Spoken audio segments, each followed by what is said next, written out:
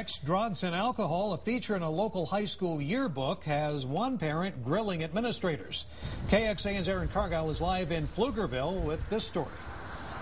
Robert, yearbooks were issued yesterday here at Pflugerville High School where around 2,200 students attend. When one mother took a look inside, she was floored over messages from students here and photos about teen pregnancy, illegal drugs, and underage drinking just could not believe that that was in there. Shonda Ewing shelled out the cash for her son's yearbook. We paid about $70 for this yearbook. Her 17-year-old brought it home Monday. So this is the page that he showed me. Page 24. A picture of an ultrasound of an unborn baby takes up the bottom half. Above it are letters from the expecting mother and father, two students at Pflugerville High School. They explain the challenges of keeping the child, staying in school, and future plans to attend community college. To me, the teenage pregnancy, that doesn't have a place in the school yearbook.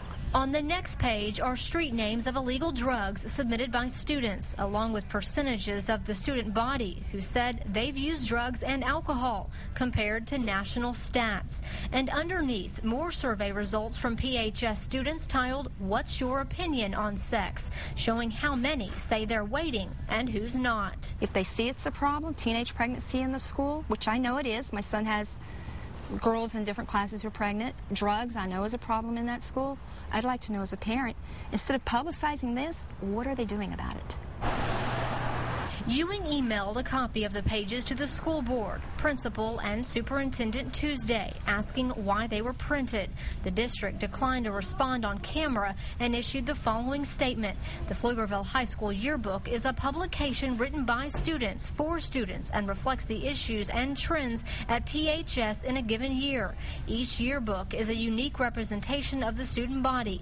Content is approved by a faculty advisor and in this case by the principal before for publication.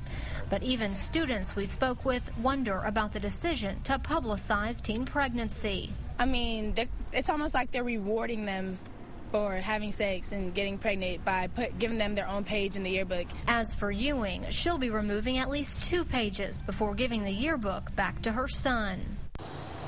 Now, the district also says that they will be happy to speak with Ewing about her concerns and tell me she is the only parent so far who has contacted the district with any issues on the yearbook. Live in Pflugerville tonight, Erin Cargile, KXAN Austin News.